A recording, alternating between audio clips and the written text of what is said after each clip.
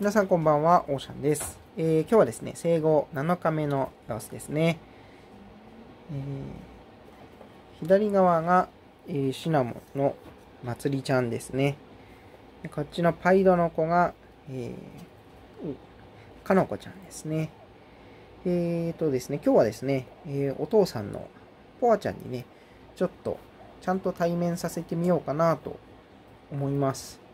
もう気になってるようですが、ね、一応ね、ケージは隣り合わせになってるんですけれども、ちゃんと顔合わせするのは初めてですね。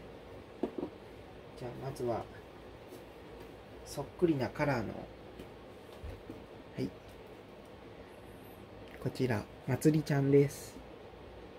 ほい、娘だよ。ん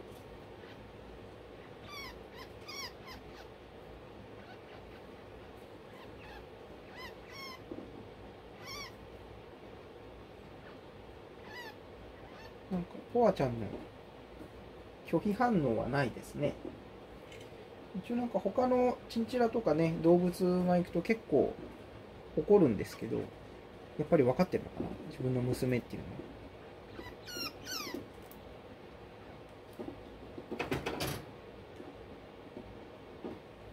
のは。おいい感じ？はい、じゃあ次。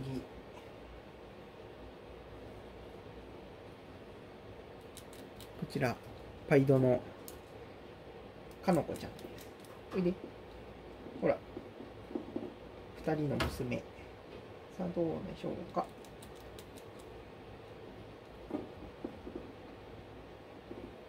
うん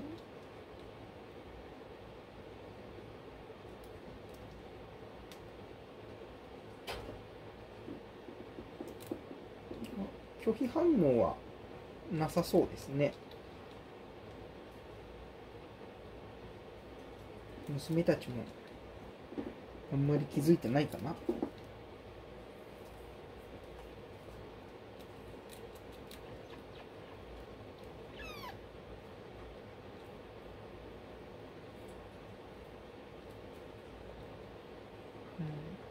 娘たちもあまり興味なしといった感じですかね。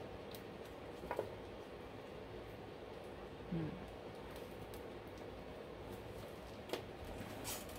どうでしょうか。でも、まあ、ポアちゃんも拒否反応は示していないので、まあ、まあ、当面はね、一緒に生活するってことは、えー、まあ、予定もないですし、ありませんけれども、まあ、仲良くね、あのやってくれそうな雰囲気はありますね。ちょっと一安心ですね。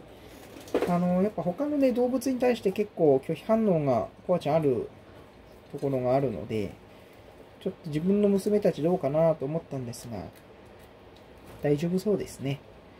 結構ね、あの、ココンちゃんの授乳シーンとかを、あの、ケージの隣からね、じっくり様子見てたりするので、意外と、あの、気にしてくれてるのかなと思いたいですね。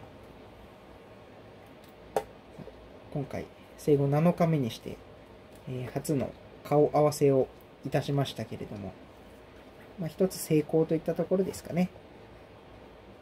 ココンちゃんの元にね、ちょっと戻したいと思います。はい。えーそれではですね、えー今日の動画はね、この辺にしようかなと思います。